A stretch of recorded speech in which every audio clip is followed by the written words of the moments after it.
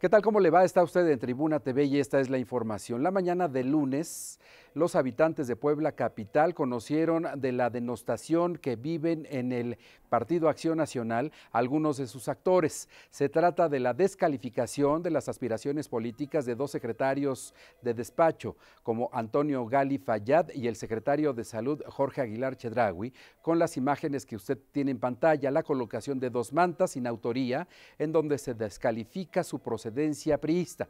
Hubo reacciones de inmediato en las trincheras políticas. El Partido Acción Nacional se desmarcó de la aparición de estos mensajes anónimos. La verdad es que yo creo que no, no, no, hacemos por parte de los panistas.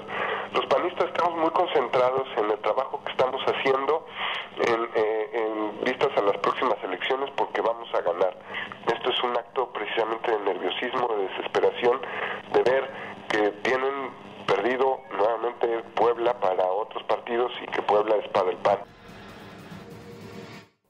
El Partido Revolucionario Institucional también se deslindó de la colocación de estos anuncios. A partir de la próxima semana.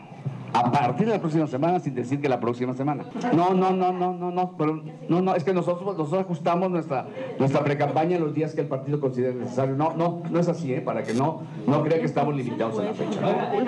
Que su amistad en eh, las postulaciones del partido. Yo creo que los, los que deben estar preocupados son los que tienen una relación real y que ahora son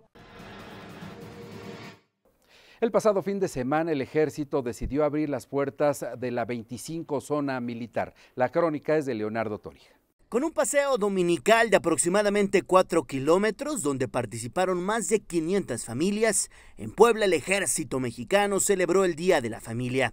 Hasta la 25 zona militar llegaron las esposas, papás, hijos, así como bebés del personal encargado de la seguridad del país para convivir en familia y participar en las diferentes actividades que la institución preparó para ellos. Esta apertura obedece principalmente a que la población nos conozca más detalladamente, que existe ese acercamiento y que se den cuenta que verdaderamente somos como cualquier otras personas.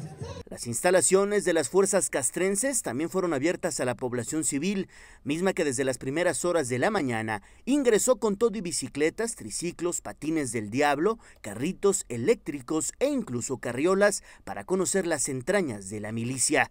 Es una excelente actividad para unir a las familias de nuestros esposos, que pues por los militares que siempre se encuentran fuera, pues es muy bueno, o sea, nos reúnen a todos, nos conocemos, porque hay gente que realmente no se conoce. Al final, los asistentes disfrutaron de algunos refrigerios y al ritmo de la música siguieron conviviendo con sus seres queridos. Con imágenes de Álvaro Morales, Leonardo Torija Cervantes, Sistema Informativo, Tribuna. Nos vamos, gracias por el favor de su atención.